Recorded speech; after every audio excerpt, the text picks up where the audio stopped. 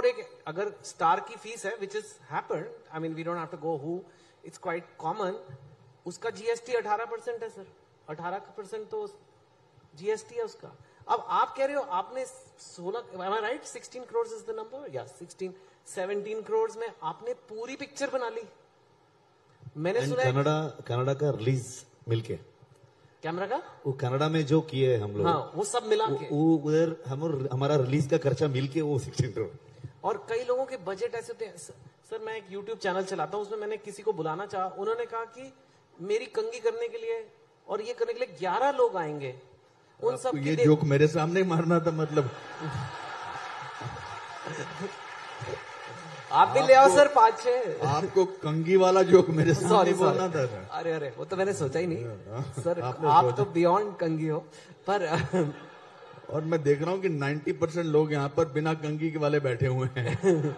No so I am just but I agree with you you are right makeup not just कंगी it was makeup it was this कोई पानी लाएगा mineral water होना चाहिए। मैंने सुना है लोगों की चार चार वैनिटी वैन होती है। These are not so these are cost structures which are so और एक एंड पे आजकल ऐसे भी कंटेंट बन रहा है पंद्रह करोड़ में आपने पूरी पिक्चर बना ली।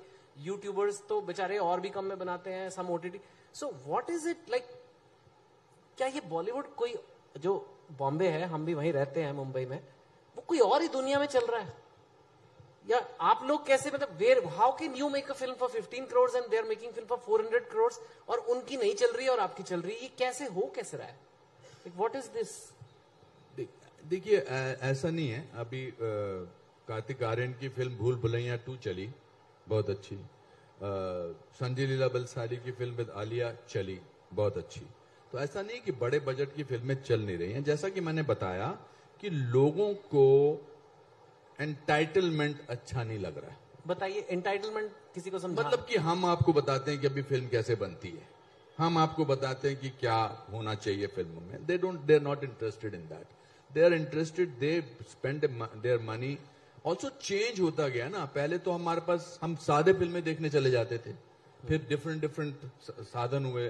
आज आज लोगों के पास एंटरटेनमेंट के कितने साधन हैं? आप मॉल में चले जाइए, खाना खाने की जगहें हैं ओटीटी प्लेटफॉर्म्स हैं, वगैरह वगैरह, कितने सारे हैं?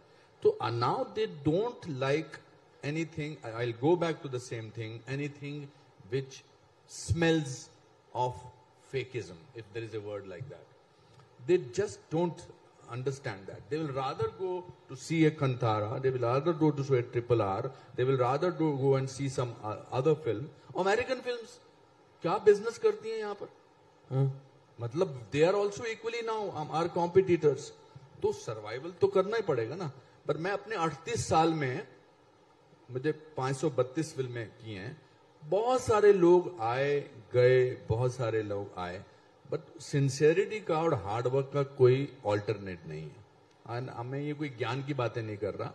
तो ऐसे लगता है कि हम चलो, अगर पैसे से बनानी है फ़िल्म बट दिस इज़ मुझे लगता है अमृत मंथन है। ये चर्निंग है। अमृत मंथन का पीरियड अच्छा होता है। इसके बाद जो आगे फ़िल्में बनेंगी, वो शायद अलग बनेंगी डिफरेंट बनेगी।